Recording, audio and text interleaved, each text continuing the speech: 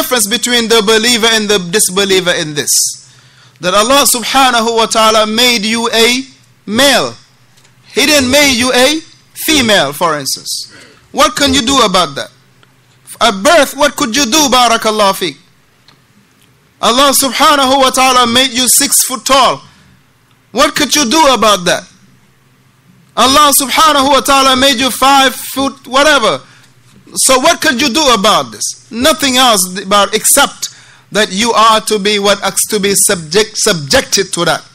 And there is nothing you can do barakallah fikum in regard to that.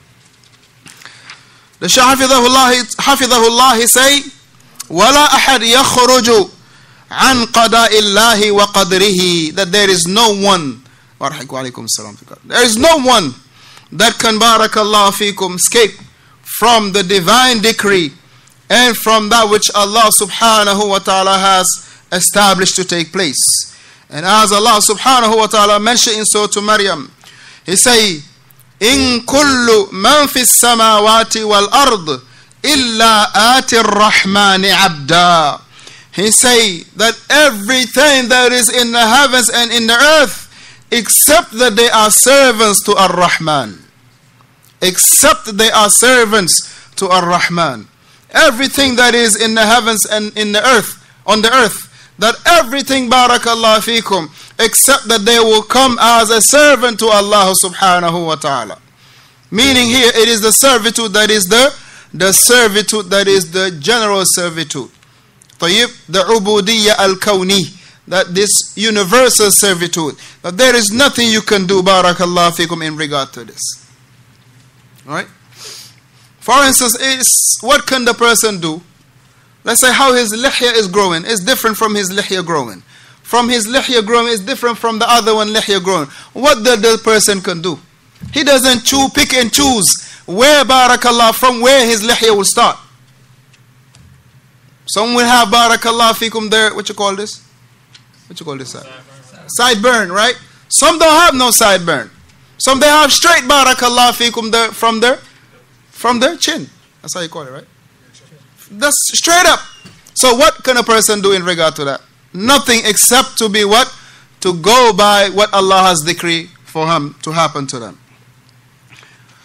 And the statement barakallah fikum and he say هذه هي العبودية العام and this is the general يعني servitude and he say وليست وهي ليست اختيارية and it is not by choice it is not by choice وإنما هي اضطرارية it is that which a person being forced or compelled Allahu Akbar so therefore we will say that there is two types of ubudiyah you have the general one which is inclusive the disbelievers and the and the believers and this is where they have been what barakallah fikum compelled to be subjected to what the decree of Allah subhanahu wa ta'ala.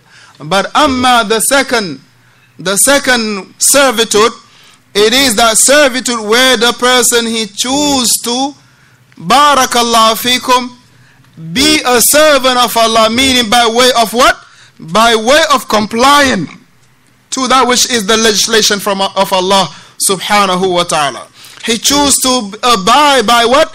The sharia of Allah subhanahu wa ta'ala. Bima'ana, aslama he has what he has submitted to Allah subhanahu wa ta'ala and this is when Allah Jalla wa he mentioned in Surah Ali Imran verse number 83 and he say walahu aslama and to him Allah subhanahu wa ta'ala aslama fi samawati wal karha wa ilayhi yurja'un and to Allah subhanahu wa ta'ala has being submitted, meaning to him. Man fi samawati, that which is in the heavens and the earth, wa karha, willingly or unwillingly. Ilayhi yurja'un. And they will all return back to Allah subhanahu wa ta'ala. So here in this verse, Allah subhanahu wa ta'ala has taught, taught us in this verse the two types of servitude. وله أسلم من في السماوات والأرض he say طوعا وكرها.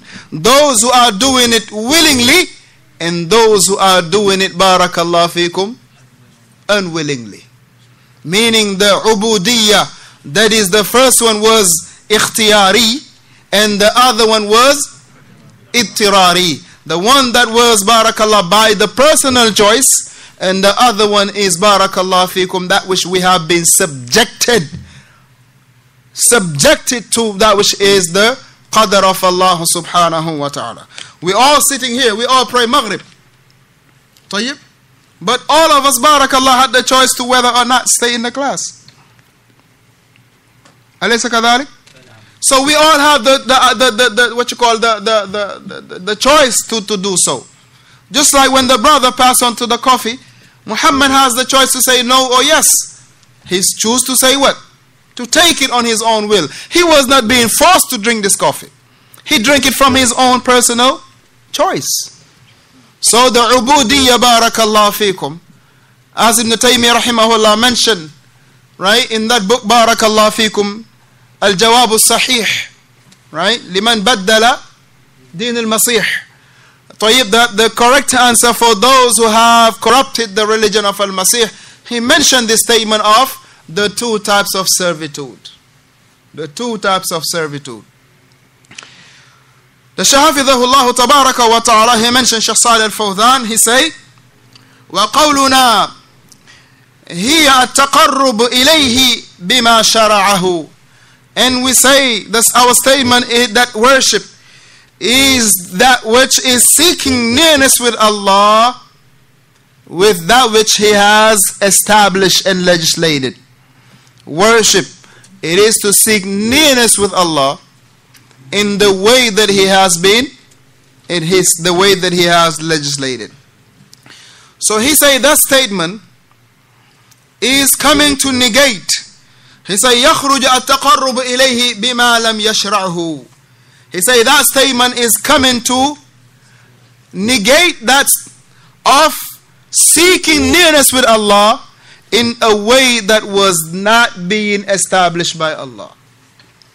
So when we say هي التقرب إليه بما شرعه it is to seek nearness with Allah in that which has been legislated by Allah that is coming to do what?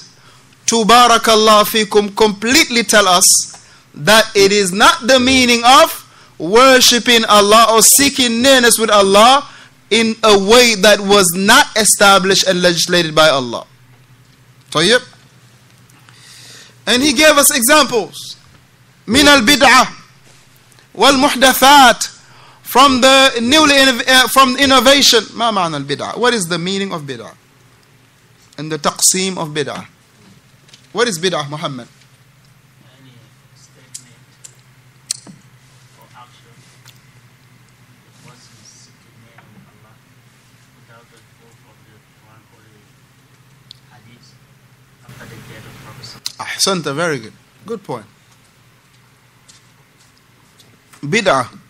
is any action statement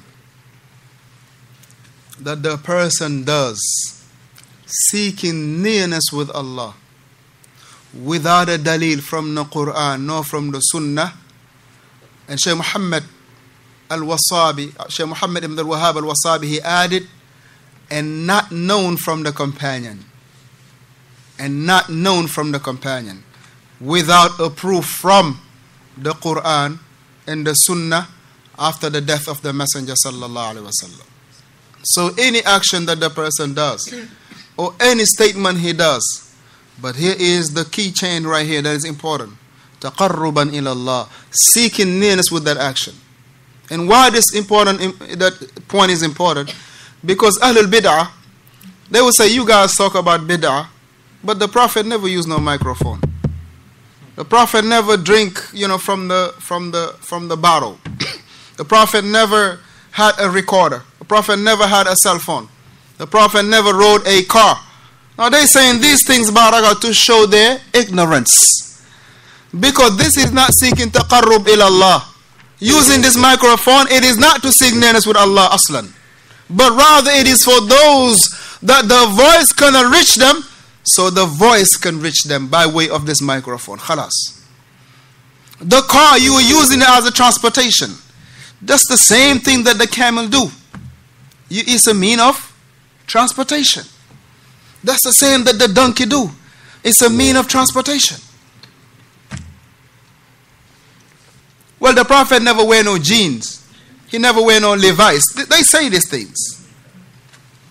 Well, the prophet never pay, never wear no Nikes. They say, and they thinking about they making fun of you or they are ridiculing you. But really, it is ridiculing themselves. Because you wearing Levi's or him wearing Barakallah fikum, uh, whatever other pair of pants, you trying to do one thing that he's doing the same thing. One thing you both have in common doing, which is what? Satr al-awra, that you are trying to cover your aura. You're trying to cover your aura, barakallah fiqh. This is the whole point of barakallah fiqh doing what? That he wearing the Levi's, he wearing barakallah, a, a casual dress suit, whatever the case might be. The main thing is what? That he want to cover his aura. So they say you gotta talk about bid'ah, but you know the Prophet never wear no watch, watch, what you call it, uh, a, a watch. The Prophet sallallahu alaihi wasallam never, akhi. So these things where it's, it's always going back to show them how lack of knowledge that they have. So he mentioned wal muhdathat and those newly invented matters, and we mentioned the difference between what you call innovation, what you call mukhalaf sunnah what you call innovation, and what you call in opposition of the Sunnah, and what you call masalihul mursala. All these three things is very different. This microphone right here falls under the masalihul mursala, meaning these things that we need to achieve certain things. It is, has nothing to do with the with the religion. It doesn't have nothing to do with the religion. Having a bookshelf, mathalan, so we can store the, the, the, the, the, the books and the likes of this. So.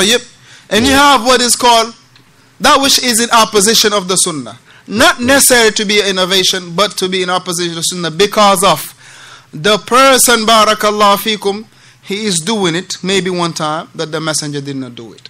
For instance, the person raising his hands, right? After Asr, for instance, he raised his hands after Asr. But you never seen him do it before. Only after Asr. We'll tell him, Akhi barakallah fim, this is what? Mukhalafa sunnah. This is in opposition to sunnah. Why? Because the messenger did not do it. But if the person, he is continuously raising his hands after the salawatul maktubat, then this is indeed an innovation because it was not done by the messenger sallallahu alaihi wasallam.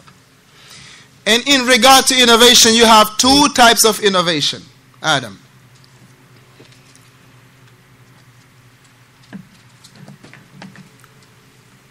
Two types of innovation.